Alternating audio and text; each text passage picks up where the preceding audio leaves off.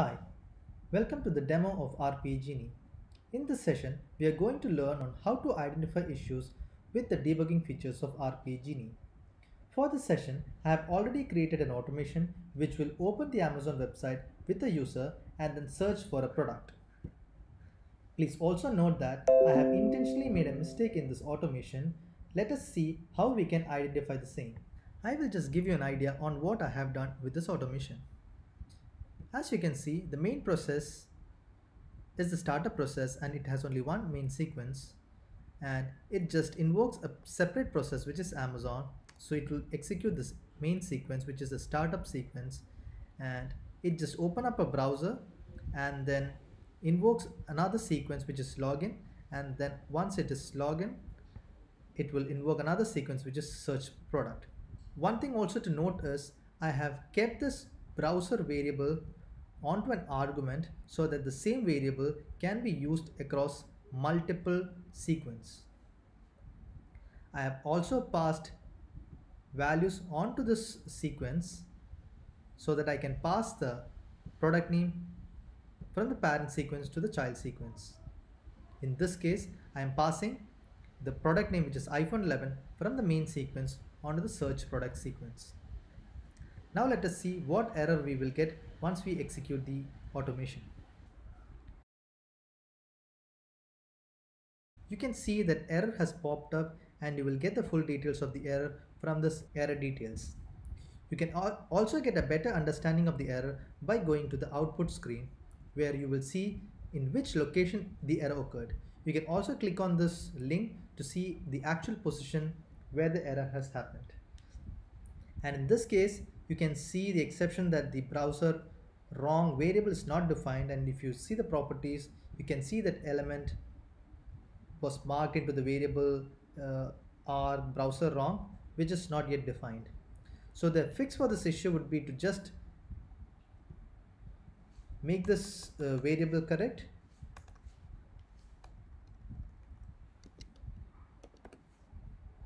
And this should fix the issue but before we try to see if this issue is fixed, I will also let you know how we can debug the same application.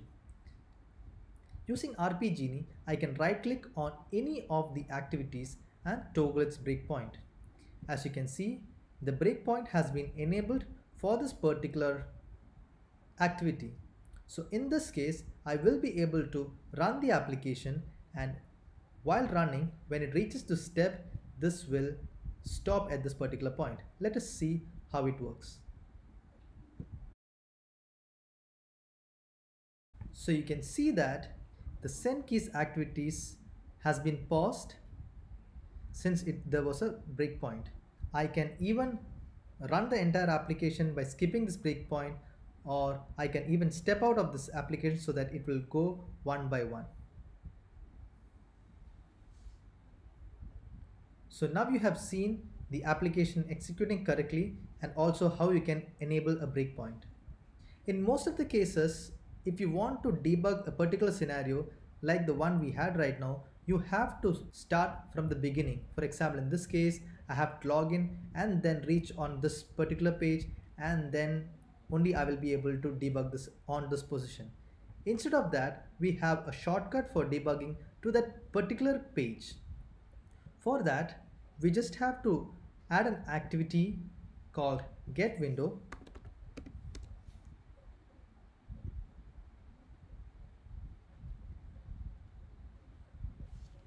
And using the get window I will be able to attach to any of the browser that I have.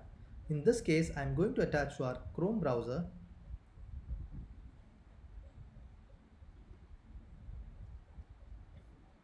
And you can see the output of the get window is var window. Instead of that, I'm going to use the same variable that I have used across this project for mapping the controls, which is our Arc browser. I'm just going to assign Arc browser here.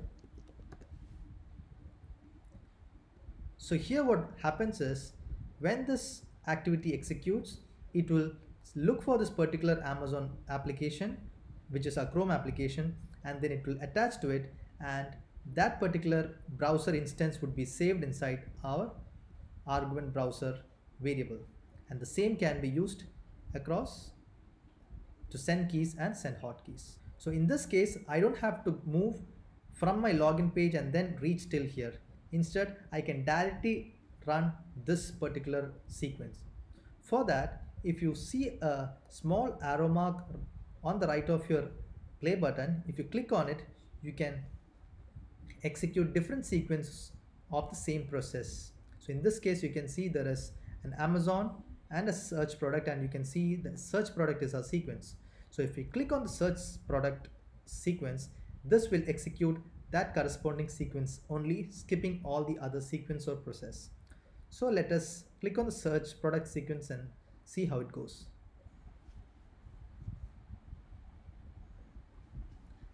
Now you can see that I was able to execute the search product sequence alone and I didn't want to go through all the login and any other sequence.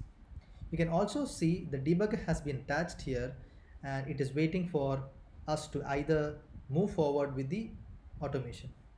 Two other main features that are very important for debugging is the immediate window as well as stack trace. Stack trace let you know what all are the previous step that was executed and the full path of this particular step which in our case is uh, send keys inside the search product. Using the immediate window, I would be able to view any variables inside my application or I can change any variable inside my application. Let us see what the product name is right now. So you can see the product name is iPhone 11 and that is what I am going to search for. Let us run this application and see how it executes.